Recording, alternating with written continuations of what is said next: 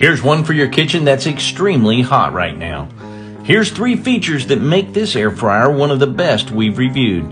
Let's start with the double cooking baskets, each with their own controls so you can cook two different items at the same time. The second feature we love is the basket windows that allows you to watch the progress. But our favorite is the sync finish technology that automatically syncs the two baskets to finish at the same time. Dinner is served.